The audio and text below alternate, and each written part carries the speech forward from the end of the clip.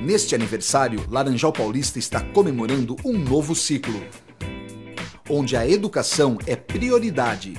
Transmitir e incentivar o prazer por aprender, escrevendo mais uma página de sua história. Uma bela história, feita com sonhos e realizações, que fazem do Laranjalense um povo que trabalha e constrói.